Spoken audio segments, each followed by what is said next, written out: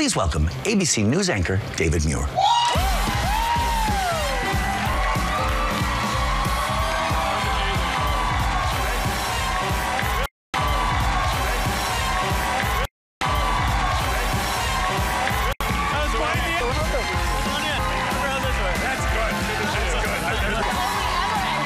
Clean me off, you send me back with the Rockettes, I'm all set. That's right, exactly. So what I'm gonna do is I'm gonna cut some bread. We're gonna put it on the grill. Okay. When we come back, I'll show you my tricky little trick for picnics, how to manipulate, move, maneuver, and distribute the eggs. All right.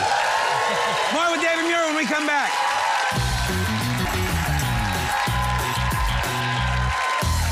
Welcome back. I'm cooking up a perfect picnic dish with the magnificent anchor of World News Tonight, David Muir. Oh, We're getting ready to finish up our Italian bacon and egg bruschetta. Do you think this dish is newsworthy?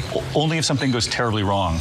You mean on the dish or in the Dish. world? Well, it- you know, if it, it, it- sadly we have to do some of the tough news at the end Right. of the day, so I'm just making sure that I did this properly and that I was careful with the knife. It's looking don't- pretty good to it me. looks good, right? It smells delicious. So here's my trick. When you take out your soft-boiled eggs, mm-hmm. you take them out, you peel them, you put them under ice water, and then the way to ship them is you put them in a pickle jar that has been removed. The pickles have taken out, but you left the pickle brine in, so Oh, it makes brine. them really delicious and briny and fantastic. Now, if you can do me a favor and take some of that pesto Yeah, and love to. smear it liberally over the top Liberally? of that hot All right. toast. I wish More liberal. Could, I wish everyone could smell this pesto, though. This is amazing. It does smell good. And then what we do is we take a knife and we just cut them in half. Oh, wait, first bacon. I'm pretty excited about this, as you can tell. Hot bacon. I mean, look at that. Magnificent pesto. Looks like we're feeling good. It's coming together. Then we take the yolk, right, hold on. Put it on just like that. Yeah. Put it on just like that. Okay. Now you, with your news anchor hands, are gonna Right. cut the egg while I sprinkle it with salt and pepper. Ready? Like this? No, well, I was gonna use a oh. knife. Karate chop the. Now this will ooze just a bit. It's supposed to ooze, right? It is supposed to ooze. Oh, he's going all the way through. He's going for it. Yeah. I'm I like that move. Oh. You like that? Oh, I do. So hold on, then you salt it. Do the next one. Oh, this one's going to be a little messier. A little messier. So now, do you have any secrets to reveal about what's going on in the real newsroom? Well, you know, there's like a presidential race. I don't know if any of you have heard about Oh, thank this.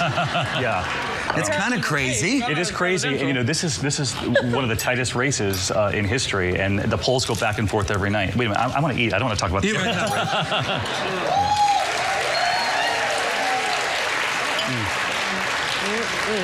That's amazing.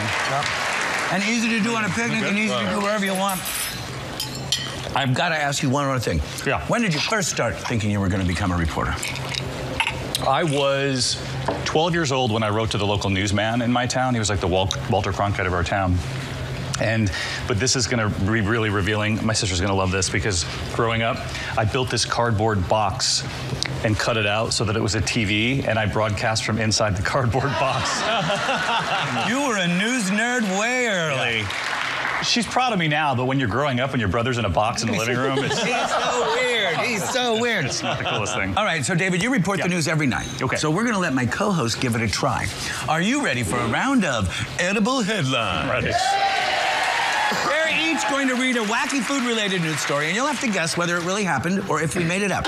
We did a little reporting of our own and found out your all-time favorite food. So if you get all three right, you get this.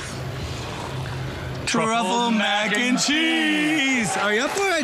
Of course I. Wait, a minute, are you like the the the maid? I'm the two chew You're the chief chew correspondent. That's right. That's right. All right. Sorry. So let's go to Michael for the news. Michael? Thanks, Mario. Back to you, Mario. Thanks, Michael. Real or fake, David Muir? what the delivery? The story. I'll say. I'll say. What do you think? Real or fake? Real. Fake. I'm gonna go with real. Real it is, ladies and gentlemen. One step closer. Daphne is in the newsroom with our next story. Daphne? Thank you, Mario. Mario. Real or fake, David Muir? Fake. It's the hundred sticks gives it away, doesn't? I mean, come on. I that's- That's right. So let's go to Clinton with more. Clinton? Thanks, Mario. Mario. Real or fake, David? Let me see. Uh, I'm gonna go with real with the audience. Boom! He nailed it. Boom! He for my truffled mac and cheese.